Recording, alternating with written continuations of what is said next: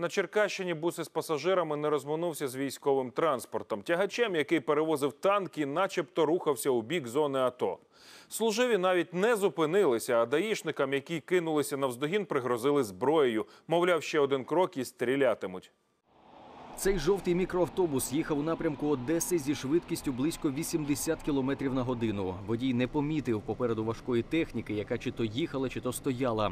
За словами постраждалих пасажирів, військовий тягач, начебто, перегородив їм дорогу. Военная. Военная там кабина, я хорошо заметила. Это военная машина была. Прицепы, либо два, либо три прицепа были. Очень большая машина. И он не успел развернуться, он перекрыл нам полностью дорогу.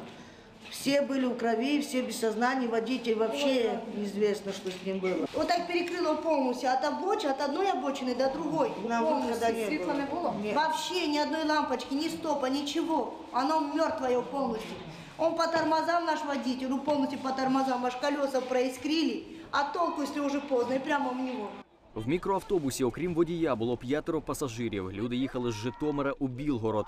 Після аварії медична допомога знадобилася усім. В приймальне відділення Уманської міської лікарні було доставлено з місця ДТП шестеро постраждавших осіб ромської національності. Е, Із них троє госпіталізовано, двоє у нейрохірургічне відділення і одна жінка госпіталізована в травматологічне відділення. Стан хворих всіх стабільний, середньої важкості. Військова техніка після ДТП не зупинилася, а продовжила рух. Правоохоронці наздогнали тягачі з танком поблизу одного з сіл Черкаської області. Однак до них вийшов озброєний чоловік у камуфляжній формі і став погрожувати зброєю. Назад! Я не до підходів. Назад! Патрон патронів. я предупредил. На місце затримання приїхала і військова автоінспекція. Однак до техніки бійці нікого не підпускали. Сказали, що їдуть в зону АТО і згідно інструкції не зобов'язані пред'являти документи.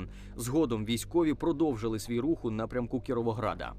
На 203-му кілометрі автодороги Києва-Одеса сталася дорожньо-транспортна пригода за участю автомобіля Мерседес та військового тягача. Внаслідок дорожньо-транспортної пригоди водії автомобіля Мерседес та пасажири отримали тілесні ушкодження. По даному факту розпочато кримінальне провадження за статтею 286 частиною 1 Кримінального кодексу України е, та назначено ряд експертиз.